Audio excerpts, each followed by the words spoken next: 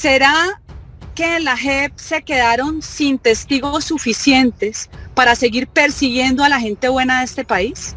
¿Será que necesitan seguir premiando a los paramilitares ya premiados suficientemente en la Ley de Justicia y Paz, señor presidente Pinto, pagando 5 a 8 años después de cometer toda clase de crímenes y aberraciones, entendiendo, por supuesto, que esto fue la degradación máxima a la que nosotros nos hemos enfrentado como sociedad en distintos ciclos de la historia de Colombia, en distintos ciclos donde ha habido responsables de distintos sectores de la sociedad y de distintos sectores políticos. ¿Por qué más premios? Es falso que los paramilitares hayan sido extraditados para ocultar la verdad. ¿Por qué siguen repitiendo las mismas mentiras? Si allá a esas cárceles de Estados Unidos accedían los senadores, que muchos hemos conocido y representantes a la Cámara. En esa época fue la época que más colaboración recibieron de la justicia norteamericana como nunca antes, para que fueran. N veces viajaron con permiso a seguir recolectando información, como entraban aquí a las cárceles. Muchas ONGs que terminan siendo, es unas fachadas, disque de defensa de derechos humanos, para poder recoger testimonios falsos y después ver cómo los, los procesaban y los volvían formales. Ahí están, cómo entraban varias ONGs y después entraba el magistrado auxiliar Iván Velázquez. Está, porque recuerdo hace mucho tiempo que un abogado me mostró. Sí, ahí entraba, entraba Piedad Córdoba, entraba el senador Cepeda, entraba la organización esta disque Comité de Solidaridad con los Presos Políticos, que cuando uno ve el prontuario de la gente que defiende se muere el susto, gente condenada a 50 años por masacres, entraba también la Comisión Intereclesial de Justicia y Paz, la del cura Giraldo, la misma que vive todo el tiempo eh, escribiendo mitos y repitiendo locuras en su imaginario mental, ¿no? Entonces, ahora nos vienen a vender la idea de que justicia y paz fue insuficiente. ¿Saben qué es lo insuficiente? Justicia y paz fue un premio para que dejaran de matar colombianos. Así como ustedes nos vendieron una JEP, disque como el mejor tribunal eh, internacionalmente reconocido. No, un tribunal diseñado a la medida de las FARC, porque Juan Manuel Santos es el sastre de las FARC. Un tribunal que hoy no demuestra ningún afán de conocer la verdad, donde los guerrilleros se esconden, que no desplazaron, que no violaron niños y niñas, que no practicaban abortos. No, pues ahora hay que pedirles perdón, porque es un tribunal que sus magistrados fueron escogidos por las FARC, que no tienen la condición ni la estatura para devolverle a este país credibilidad. Como ese magistrado Ramelli, que dice que de no reconoce la sala de no reconocimiento y ahora anda enloquecido viajando por todo el país con el embajador de Francia haciéndose propaganda para sacar en la revista Semana la portada. Dice que los falsos positivos, qué descarado, ¿será que se le olvidó al magistrado Ramelli los miles de soldados muertos de Dabeiba y encuentran al tal Alexander Lescano y hacen un show mediático para saber que era un miliciano del Frente 34 que también había participado en actos criminales atroces, que fue reparado ilegalmente y regularmente por el Ministerio de Defensa en 700 millones de pesos cuando las pretensiones eran de 390. No ha debido tener ninguna pretensión y ahí sigue el espectador lavándole la cara al magistrado Ramel. El mismo magistrado que crea con Monte Alegre la unidad de análisis y contexto para falsear la verdad. Y ahora ustedes nos vienen a vender un proyecto donde no es suficiente los años que llevan los paramilitares. Unos diciendo la verdad, otros diciendo mentiras, como el tal HH que se ponía a los muertos de otros y cobraba 100 millones de pesos. No, necesitamos más premios, porque necesitamos más testigos falsos para poder perseguir a la gente buena de este país, que ha logrado sobrevivirlo a todo. Gente rica, gente de clase media, gente pobre, que la verdad está agotada de tantos inventos y tantas jurisdicciones. Un país no soporta cinco altas cortes, solo la imaginación de los colombianos, pues que es bastante, bastante amplia y bastante eh, genial, ¿no? Bastante creativa, es lo que diría yo suficiente. Además, quiero contarle a mi compañero el senador Lara que hay algunas audiencias que entiendo que no han sido públicas, porque uno no accede a todo lo de justicia y paz. Yo quisiera que todo fuera público. Acceden esos portales como verdad abierta también para tergiversar la verdad, porque la palabra verdad es la que usan ahora para invertirnos la realidad. La palabra verdad, la verdad a la que no hemos accedido ninguno de los colombianos, con todos los amnistiados e indultados del EPL, del ELN, del M19, que nunca nos contaron su historia y que si uno les recrimina algo de lo que hicieron en su época, lo denuncian penalmente, como me ha pasado a mí con el señor Gerardo Vega Medina, que fue el EPL ahora es el ultradefensor de derechos humanos. Porque si uno dice que fueron bandidos, porque está en la historia todo lo que hicieron estos grupos, cómo invadían, asesinaban el mayordomo de la finca, secuestraban el propietario. Si uno dice que eso lo hicieron, eso se llama estigmatización. Y el malo es uno, porque es que ese es el derecho a la verdad.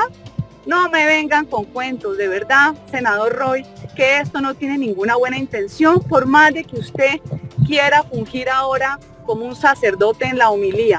No le creo, no estoy de acuerdo, no más privilegios para bandidos, justicia, señores. Esto no es venganza. El hecho de que uno quiera que haya una compensación a través de la justicia no significa que uno sea vindicativo ni que sea un enfermo mental. Los países civilizados juzgan y condenan a la gente. En Colombia no. En Colombia el incivilizado es uno que genera riqueza, que crea empleo, que ayuda a la gente, pero porque cree en ideas republicanas firmes y conservadoras, uno es el degenerado, el nazi, el parado. Entonces, yo lo único que les pido aquí es que tengan consideración. No usen más el derecho fundamental a la verdad porque lo están usando como una forma de invertir la realidad inversión revolucionaria pura y dura, no más abuso con las víctimas de las FARC. Ya es suficiente, no más. La JEP solo ha servido para hacer un tribunal de impunidades. Cualquier cosa que se haga para investigar lo que hicieron los criminales de las FARC es persecución. Ah, no, ahora necesitamos más verdad. Una moción de orden, presidente, me permite. Más verdad. Entonces, no es suficiente la verdad de justicia y paz. Además, quiero decirle otra cosa, senador Roy, para que usted también la investigue. Muchos bienes entregados por paramilitares, bienes y bienes en propiedades rurales terminaron en la fiscalía que no le resuelve a las víctimas. No le resuelve. El tribunal ordena que fulano de tal paramilitar devuelva tal predio que despojó a fulano y se queda en la fiscalía, porque la fiscalía también es otro botín. Entonces hay que ir a negociar con el fiscal a ver si le da la gana de soltar los bienes que ya hay declaración, incluso en los tribunales de justicia y paz. No creen más marañas judiciales contra la gente. Dejen que este país siga adelante. No más persecuciones. Es un tema obsesivo. Suficiente flexibilidad ha tenido este país con los bandidos del M19. Los del ELN todavía, todavía los siguen considerando después de haber masacrado a esos muchachos cadetes de la policía que además son todos de familias campesinas rurales, los siguen premiando.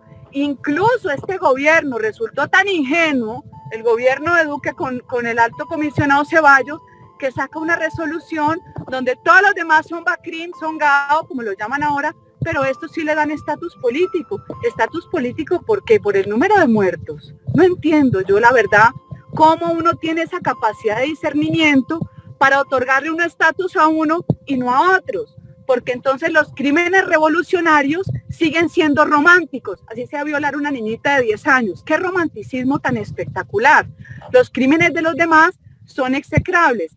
5 a 8 años, que fue una necesidad como país para dejar la matanza.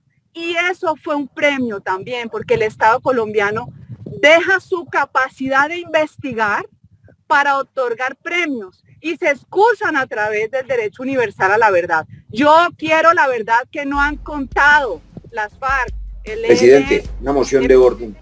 M19. Yo quiero esa verdad. Y yo quiero... senador Roy, termine de senadora María Fernanda y lo el, la moción de orden. la verdad que se contrasta. A mí me encanta cuando sé que se han sentado guerrilleros y paramilitares a contarse la verdad. Cuéntenos todo eso que está oculto cómo muchos paramilitares trajeron a sus filas a miembros del ELN y del EPL. para poder hacer unas masacres selectivas que según cuentan unos de estos tipos, pues eh, resultaron siendo más efectivas. Porque como en un principio los mismos paramilitares que intentaban ir a combate con la guerrilla terminaban siendo diezmados porque no conocían ni la zona, ni tenían guías, esas historias reales de Colombia. No traer testigos ahora bandidos, bandidos que no les importa mandar a una persona inocente 40 y 50 años presa. No más testimonios pagados, porque es que en Colombia eso sucede. Aquí funcionó la unidad de falsos testigos de la Fiscalía. Ojalá que este fiscal entienda que tiene que darle la importancia plena a una unidad de falsos testigos donde aquí también hay congresistas que han sufrido lo que es la persecución utilizando medios que son eh, eh, completamente, completamente inadmisibles. Sí, también ha pasado. Entonces, no nos vendan lo que no es. No más jurisdicciones de la jurisdicción de la otra jurisdicción. Aquí, ustedes quieren respeto por las víctimas, pongan jueces de primera calidad y no activistas políticos Bien, eh, eh, culminó senadora María Fernanda. Deme un minuto, eh, senador Pino. Le doy la moción de orden al senador Roy y seguimos con el ah. senador Velasco. Ya termino. Yo le pido a usted, porque es que es muy fácil adornar con argumentos que son falaces, mentirosos, lo que aquí se va a habilitar, que es más premios con un interés político, de que lleguen personajes que cometieron toda clase de crímenes, dice que, ay no, no fue suficiente 15 años, necesito más años para contar la verdad. Eso me parece un abuso con las víctimas, porque ya sabemos que la JEP no va a traer verdad de nada, porque no ha hecho hasta hoy absolutamente nada con la verdad que las víctimas cuentan de sus victimarios que fueron las FARC. Gracias, presidente.